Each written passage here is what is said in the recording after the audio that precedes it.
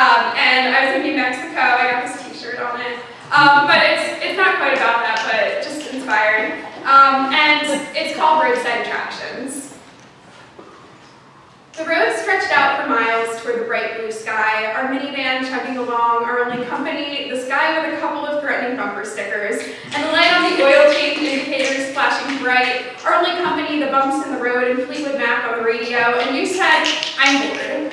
You said, who even lives out here as we passed rundown shacks and the desert just shrugged right back. The mirages shimmered and the magic mountains parted, and looming high over the highway, silhouetted against the sky, the world's largest ball of twine. Why not? The next rest stop is in 40 miles, and we've got nothing but time, a couple of dimes for the toll, and 17 hours till we reach California. I'm bored, you said, and of course, we've been driving for hours, our only company, these four doors. The miles pile up and the hours run together, but we've been here before.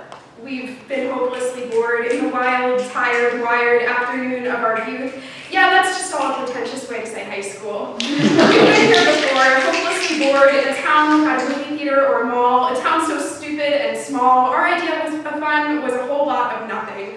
Driving in circles because our lives were still buffering, and we learned a lot of lessons. Yes, that boredom was a blessing. We learned that once we got together and once we've exhausted our life story and the weather, we have to make our own memories. Well, our own, write our own autobiographies. Last week I was forced to read Nietzsche, and okay, bear with me. He said we're all drops in the sea, and when we peel back reality, there's nothing to see. And I don't know if I agree, but it's nice to believe that we write our own stories. When we get in the car, we're in the driver's seat, and we can pull over anywhere we damn well please. And one day, when the photos have faded and the memories have grayed, we might as well say we saw the largest ball of twine, the largest ball of paint, embrace the lame and the faux famous. Sometimes the greatest days start in the greatest places, and others happen like this.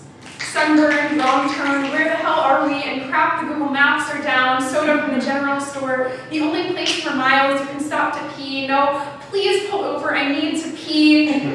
Breathe. Breathe it in, turn around and see the road behind all the places you've been. We didn't plan it like this. We saw a billboard and took a gamble at something great, and hey, it was just okay, but being here with you it.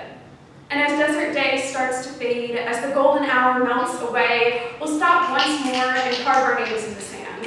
Not quite the biggest or the weirdest or best, but a roadside attraction to shout to the next, we were here, and we took our time. Stop and smell the fresh coat on the world's biggest ball of paint. I promise, it's worth it.